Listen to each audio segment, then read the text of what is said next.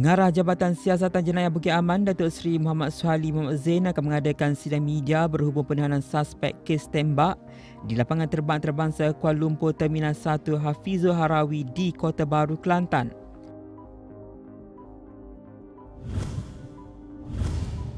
Menteri Pendidikan Fadil Nasir dijadual hadir ke kem generasi Madani pemimpin murid Sekolah Menengah Kebangsaan Gama peringkat kebangsaan tahun 2024 di Kelana Resort Seremban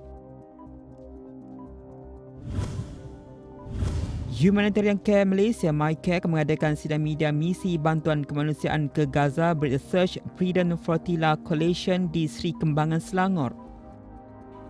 Ikuti tumpuan kami dan banyak lagi di Salon 501 dan semua platform media sosial Astro Awani.